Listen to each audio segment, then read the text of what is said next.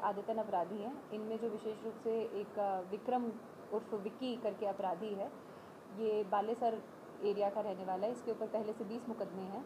ये अभी हमें पकड़ना बाकी है। और उसके अलावा जो हम लोगों ने लोग पकड़े हैं, उनमें से भी, उनके भी पहले से क्राइम रिकॉर्ड हैं। तो ये जो जैसे सुनार है, उसके ऊपर अपने ऊपर खुद दस मुकदमे हैं पहले के।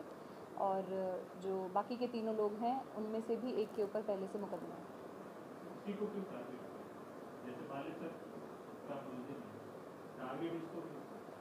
उसके साथ यहाँ के या ये इन लोगों को अंदाज़ा था कि ये जो है सामान लेके जाते हैं। मतलब बिकॉज़ ये रात में, ये शाम के समय में जब बंद करते हैं दुकान तो ये अपना सारा सामान बैग में भर के लेके जाते हैं। सौ डेढ़ सौ मीटर की दूरी पर ही घर है ज़्यादा दूरी पर घर नहीं है पर उतने समय में थोड़ा वलनरेबल तो रहते ही है इतना सारा सामान लेके जाते हैं कोई उतना प्रोटेक्शन नहीं होता तो उस हिसाब से इन लोगों ने प्लानिंग करी है। बाकी अग्रिम पूछताछ पे क्लियर होगा कि किस तरीके से रैकी करी और किस तरीके से उन्होंने इनको विशेष रूप से टारगेट किया। आ, जिन लोगों को हमने पकड़ा है उनके नाम हैं दस अप्रैल की बात है।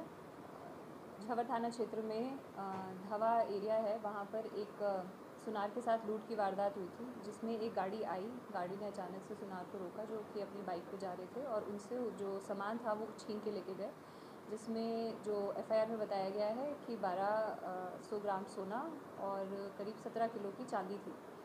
इतना ये वारदात होने के बाद हम लोगों ने टीम बनाई, टीम के अंदर जो एडिशनल डीसीपी हरफूल जी के उसमें गाइडेंस में एसीपी बोरानाडा जयप्रकाश उसके अलावा जो हमारी तीन टीम हम लोगों ने विशेष रूप से बनाई, जिसमें एक एस एच ओ झवर के गाइडेंस में, एक एस एसएचओ लुनी के गाइडेंस में और एक पन्ना राम जी जो कि एस एच ओ बोरानाडा के पद पर तब थे और वहीं पर पोस्टेड है बोरानाडा में, उनके उसमें बनाई गई।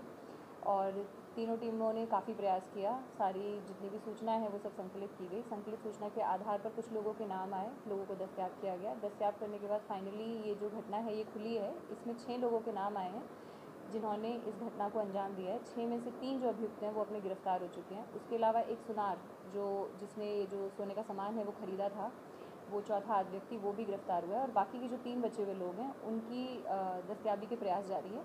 इसके अलावा करीब 400 ग्राम सोना और 11 किलो चांदी। ये जो है ये बरामद की जा चुकी है। बाकी का सामान बरामद करने के प्रयास जारी है।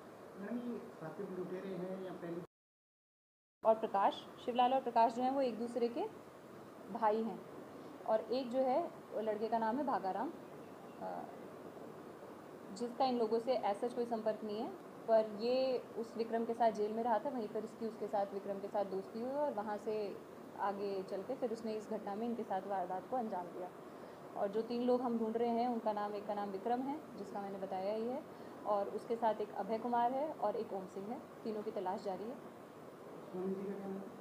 बाबूलाल। अच्छा जिन जिन को गिरफ़्तार किया है उसका जो नाम है अ, रमेश। रमेश